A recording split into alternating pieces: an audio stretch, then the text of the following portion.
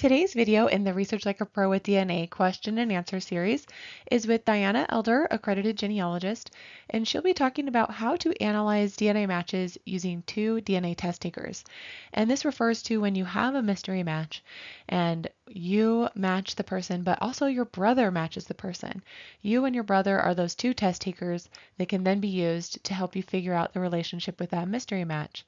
And this can be done with any two test takers who are from the same generation. So if it's you and your first cousin and they're in the same generation, then you can um, use both of those test takers to help you um, figure out that mystery match. And she'll be showing the tool in the Shared Centimorgan project that allows you to compare two different amounts to find possible relationships. So I hope you enjoy this video, and this is an excerpt from our Research Like a Pro with DNA monthly office hours for those in our online course. And this video should be helpful for finding out more about relationship possibilities using the Shared Centimorgan project. Well, today we're going to talk a little bit about this idea of analyzing DNA sources. And I thought it would be fun to look at this idea of analyzing relationships using two test takers. So if you are luckily lucky enough to have some test takers that are on a specific objective and you can use two of them instead of just one, it can help you a little bit with your analysis. So this is available at the Shared Centimorgan Project.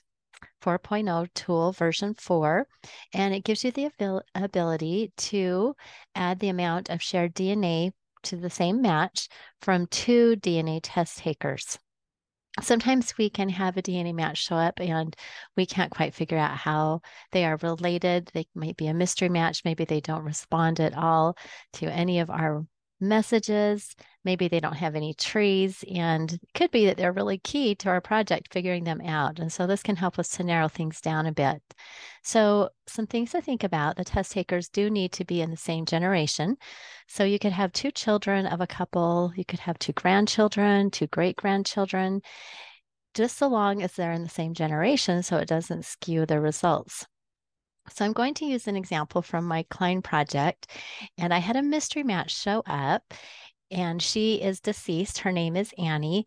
And the person who is in charge of her test said that she is basically a mystery match for him as well. He's working with her maternal side, but it looks like we match on her paternal side, which he has absolutely no clue.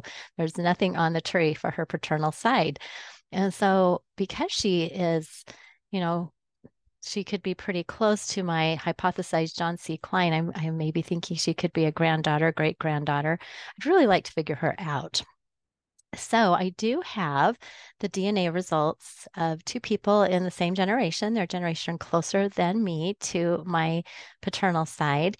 And when I put in just one of the amounts, I got just 80, I, she matches 81 centimorgans, and I have a lot of possibilities here. So you can see that maybe it would be a little difficult to narrow down with just this one test taker. Now, when I go and add the option for using a second amount, and you'll see my other test taker in the same generation only matched 44. And of course, that's common to match different amounts uh, for the same relationship. But these two will have the same relationship because they're the same generation, and it'll be really fun to see if this could help me in having uh, two test takers. So, how do you find this ability to add a second amount?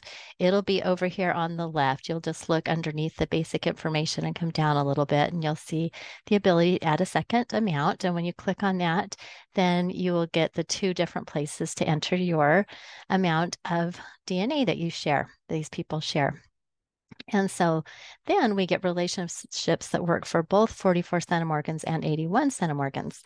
And when we look down at the different possibles, then we can see that there are a few few things that have been eliminated. So this still looks like a lot of possibilities. So what do we do next? Well, for every single one of these relationships, you can click on it to see the histogram. And what I'm looking for is a histogram that shows both of my people with a fairly good amount. so for example, here is histogram for third cousins. So if we have my two test takers right here, one sharing 81 centimorgans, one sharing 44 centimorgans, you'll see that there are a lot of people who have said that this is right there in their relationship for third cousins. They have reported this amount of DNA that falls within this bin. And we can see this is a fairly good guess.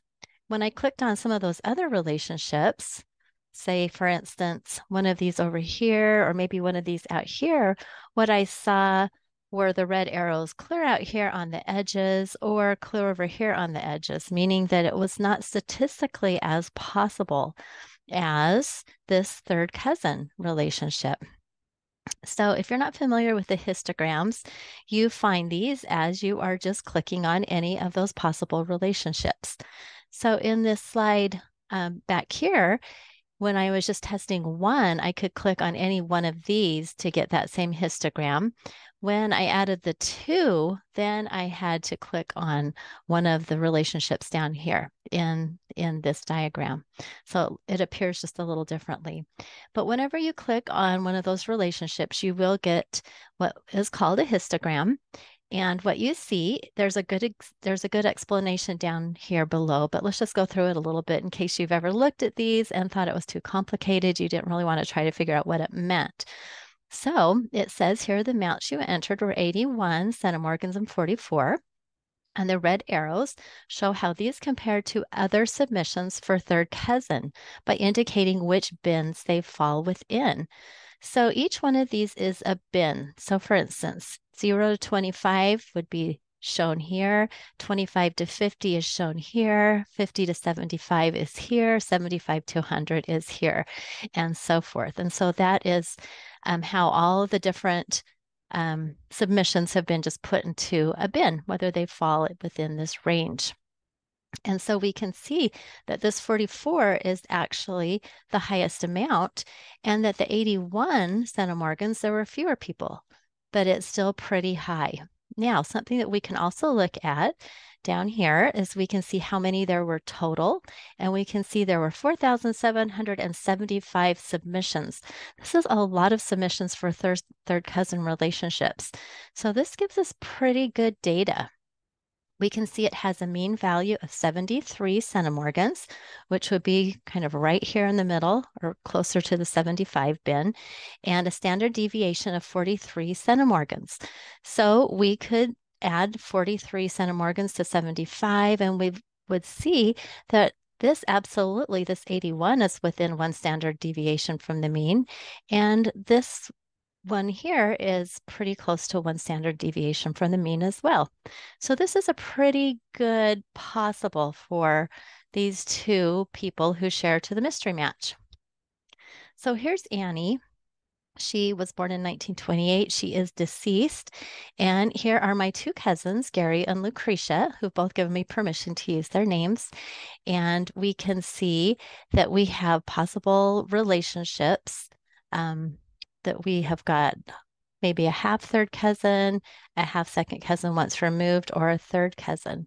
And so I am in the process of trying to do a little bit more work here and see if possible there was some type of something that happened here. Maybe this is uh, I don't know how this person connects to John C. Klein. All I know is that this Annie is a mystery match, and somehow I want to connect her in my diagram and to John C. Klein and try to figure out how she might connect.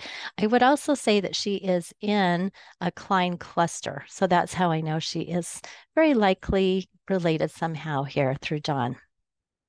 So that is just something fun that you can try. It could be very helpful if you actually do have two people, two test takers that you could try to see if that will help you to make more information or to get more information on your um, shared DNA match.